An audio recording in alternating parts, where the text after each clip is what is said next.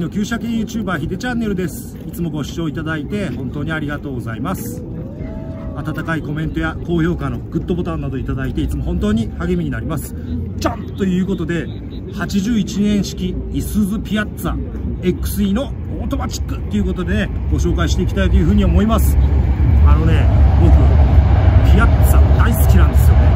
なんでねオーナーさんに詳しく聞きながら見ていきたいというふうに思います。それではね鈴ピアッツァ見ていきましょう。はいすいませんオーナーさんお願いします。ということで、はい、いろいろ詳しく教えてください。ということで、はい、まずねピアッツァといえばフ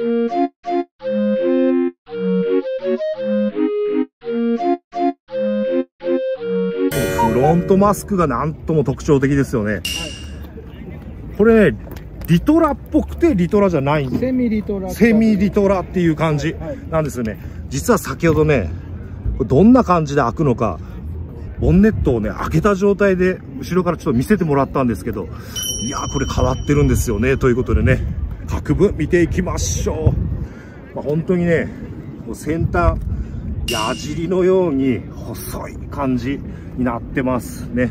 サイドから見ると、まあ、こういう感じですよね。もう本当にくさび型、ね、まんまくさび型ですよね。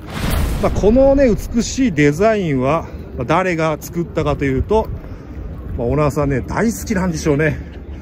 じゃじゃんということで、全ての始まりはこの方からということで、ね、僕はこの十字アロシの顔を初めてご尊顔を拝見しました。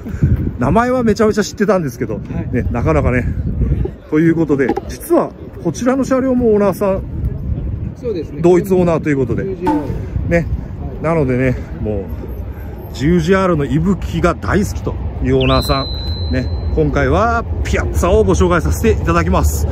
いやーね、このね、サイドからのラインも非常にこういう感じで美しいというふうに思います。そして、このね、なんて言うんだろう。これがね、スカキエラっていうモデル JR のデザインのものですなるほど、はい、これはだからあのオリジナルというか純正ホイールではないというね社外品で、ね、まあ、ただこの 10GR の息吹を感じる。チェチェスのバンをイメージして 10GR がデザインした。なるほど。いちいちおしゃれですね。ね。僕はこれはもう将棋の盤かと思いましたけど違うんですね。はい海外の人なんでね ジウジアーロは。そしてこれ初めて知ったんですけど、ワイパーはね、真ん中に1本だけのワイパーなんですね。なるほど。これは初めて知りました。珍しかったね。と思います。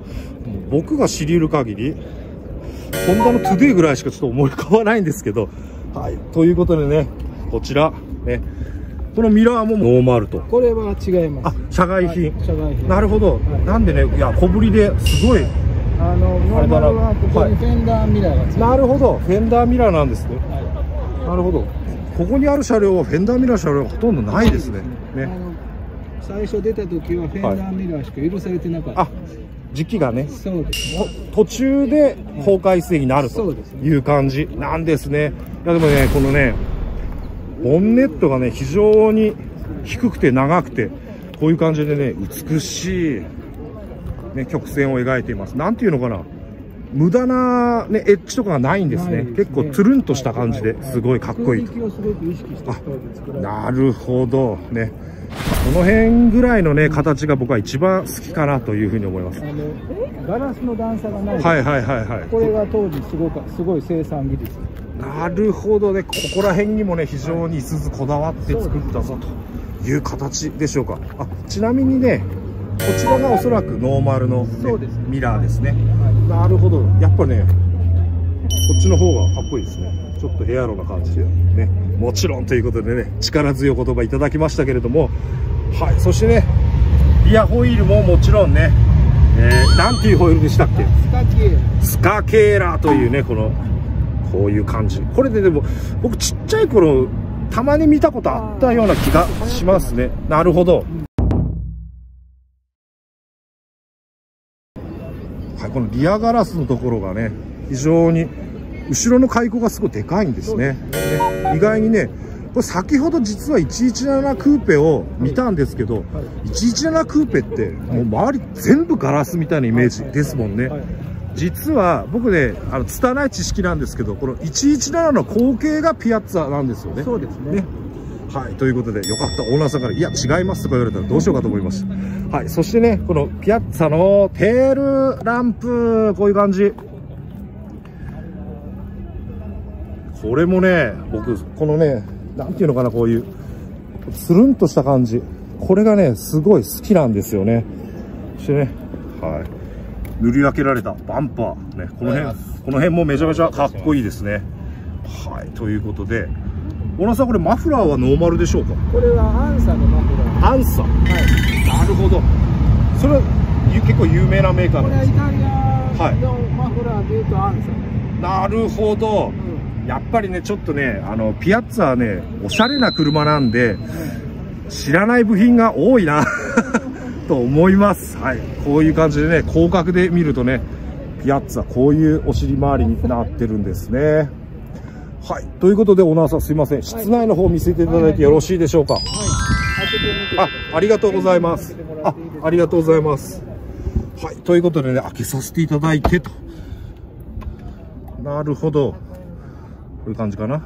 はい、ということで、こちらがね、ピアッツァの室内となってます。こういう感じになってるんですね。この辺にはね、なんかね、グローブボックスみたいなのもあるんですね。はい、そして、こんなところにシガライターがあると。完全にね、運転手しか使えないというふうに思ったら、実は、なんとですね、レベント。はい、助手席にもね、あるんですね。これは、スマホ時代の今はね、めちゃめちゃいいんじゃないでしょうか。ということで、はい、メーター周り。ね、こちら、メーター周りがこういう感じになってます。なんともね、形容しがたい独特のメーター周りですね。この辺のね、シフトの関係性なんかもねすごい面白い感じですね。デジタルメーター。ですこれね、オーナーさん、あの、はい。僕、いすずみゆに乗ってるんで、はいはい。まあこの辺にね、スイッチ類がついてるぞっていうのははい。わかるんですけれども、はい。これメーターなんですけど、これどんな風に光るんですかこれ？エンジンかけてみてください。いいですか？はい。はい。一発でかかりますか？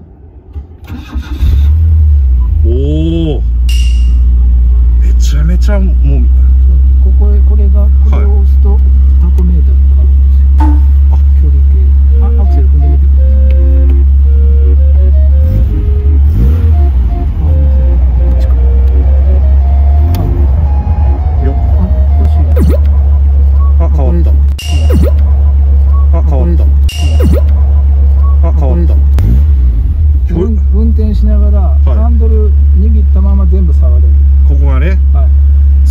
ね。これ、あれ僕、いすずのミュウに乗ってるんで、これは同じような感じでついてるんですけど、これ、あの、僕、福井県は、あの、車文化で、ん。あんまり電車とかがね、はないんです。いはい。で、お酒を飲みに行くと、代行っていうのを頼むんですけど、あ代行がね、あの、ヘッドライトをつけられない、ワイパーもかけれないということでね、非常にあの困った記憶があります。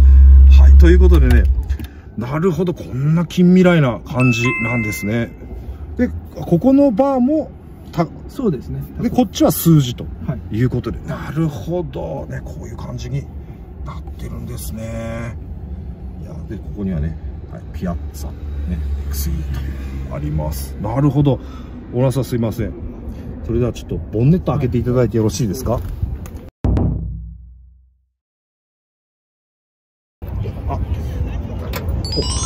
ど。開いてるんですね。なるほど。こんな感じになってるんですね。はい。エンジンはね、先ほどちょっとカンニングしました G200 っていうエンジンがね、乗ってるんですけど、これ、小野さん、あれなんですよね。あのー先ほどカンニングさせていただいたら、はいはい乗ってるエンジンの型式自体は、はいあのー117クーペと同じなんですよね。はいまあ排気量が若干違うっていう排感じ。気量も、はいあの同じものもある同じものもあります。これは1800ですけど、はいはいはいこれは2000ねはいなんで、こんなにね、近未来な感じなのに、ね、117と同じエンジンが乗ってるっていうのはね、いや、もともとのね、この G200 っていうエンジンがね、結構いいエンジンだったからじゃないのかな、なんていうふうに思いますけれども。ベレットから同じですか？あ、ベレットもそうなんですね。なるほど。作り続けてる。かっこがいいですよ。いや、本当にいいですよね。このね、DOHC のね、タペットカバーがね、非常にかっこいいというふうに思います。で、でこれあれなんですね、キャブレターじゃなくて、インジェクションで。インジェクションです。ね。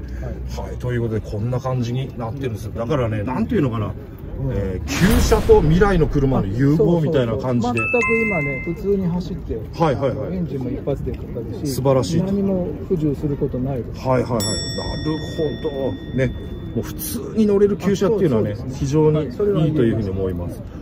はい。そしてね、こちら先ほどね、見ていただいたフロントのね、後ろから見たところなんですけど、ここがね、セミリトラの心臓部ということで、まあここでパカッと、このモーターで開ける感じなんですね。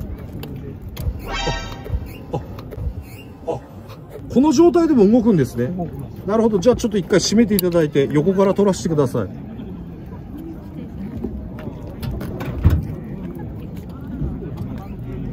なるほど。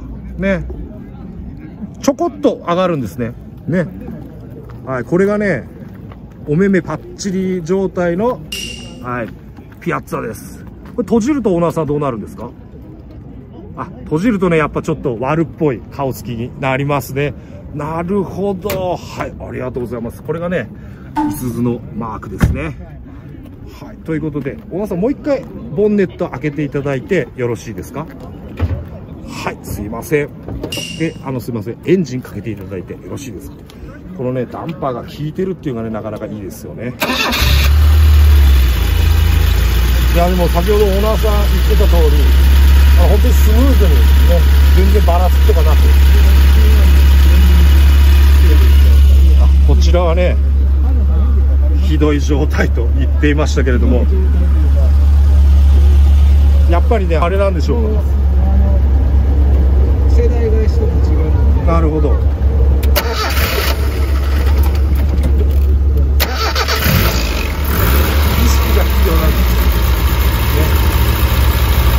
かにね、このエンジンのこの振動がね、こちらはね、全くないですよ。止まってます。なるほど。ね。え、何年時なんですかでいうと、まあ、6年6年6年でこちらねこういう風に進化するはいはいいろいろ作業しないとなるほどなるほどこうなるとじゃあちょっとねマフラーの音も聞かせていただきましょう。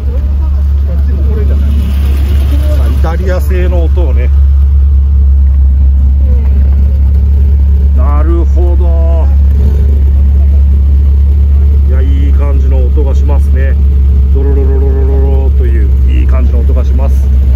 はいということでズズピアッツァーをお届けしました、ね、こちらで吹かしてくれていますけれども最後までご視聴いただきありがとうございました。もしこの動画が良ければ高評価のグッドボタンそしてチャンネル登録がまだの方はぜひチャンネル登録をお願いします。コメントや応援メッセージなんかいただけると本当に喜びますのでぜひお寄せください。それではまた次の動画でお会いしましょう。ジュジャーロ次に紹介されるのはあなたの愛車かもしれませんよ。バイバイパソコンでご覧の方は画面左側、スマホでご覧の方は画面右側をご覧ください。ヒデチャンネルの公式グッズがご覧の動画の下から購入できるようになりました。